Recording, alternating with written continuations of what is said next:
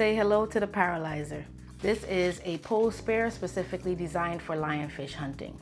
It comes equipped with a three-prong stainless steel tip on one end and a band on the opposite end. Basically, when you spot the lionfish, you're going to put your hand in between the band like so, stretch the band up to the front and aim and release into the lionfish. You're aiming for the head so as to not mess up your fillet and hopefully to take the lionfish out in one fell swoop. It's about 30 inches long, so it's small enough for me to carry on every dive.